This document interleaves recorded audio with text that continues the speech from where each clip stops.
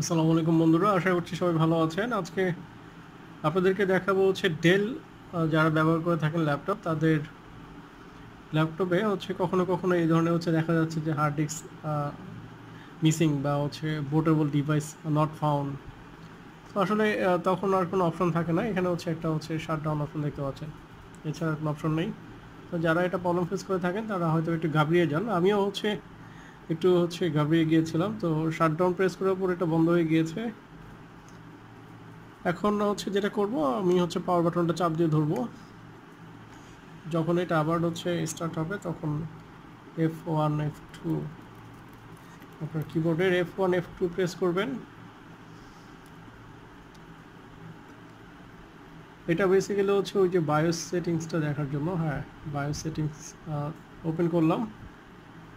F one F two press করার পর এগুলো আসে দেন হচ্ছে আপনি ব্যাটারি দেখতে পাচ্ছেন এক্সেলেন্ট ওকে ফাইন আচ্ছা ওকে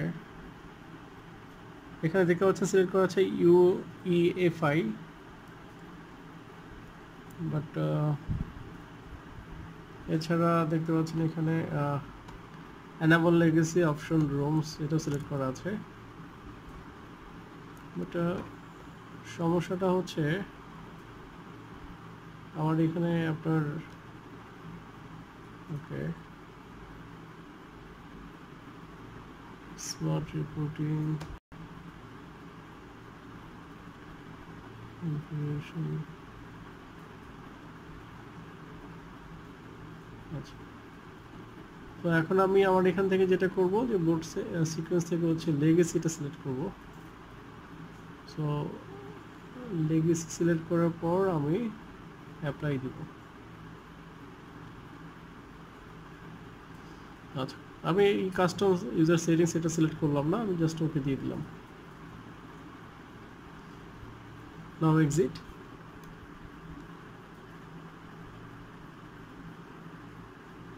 মূলত ডেল হচ্ছে যারা ব্যবহার করে থাকেন তারা এই প্রবলেমটা ফেস করে থাকেন। আর দেখতেই পাচ্ছেন সমস্যাটা। আমার এখানেও হচ্ছে।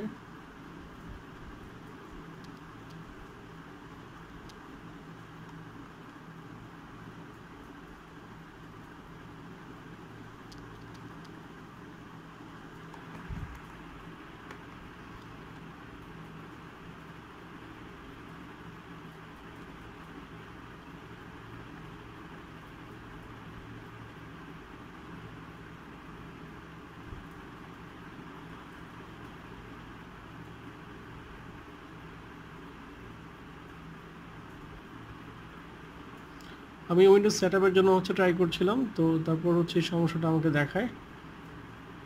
তো মূলত হচ্ছে এভাবে যদি আপনি আপনার বোর্ড সেটিং থেকে হচ্ছে চেঞ্জ করে নেন পরবর্তীতে এখন স্ক্রিনে যেটা দেখতে পাচ্ছেন আমি যেহেতু হচ্ছে আপনার উইন্ডোজ সেট আপ ট্রাই করছিলাম, যার জন্য আমার হচ্ছে এ ধরনের একটা সিনারিও দেখাচ্ছে, যেটা হচ্ছে আমার উইন্ডোজ সেট আপের যে কার্যক্রমগুলো বাকি ছিল সেটা দেখাচ্ছে। তো আমি হচ্ছে এটা দেখতে পাচ্ছি, কারণ হচ্ছে আমি উইন্ডোজের হচ্ছে সেট আপটা ট্রাই করছিলাম। আর আপনারা যদি অন্য কোনো কাজ করার সময় প্রবলেমটা ফেস করে থাকেন, সেক্ষেত্রে হয়তো পরবর্তীতে আপনাদের স্ক্রিনে সেই ধরনের কোনো তথ্য দেখাবে আর কি।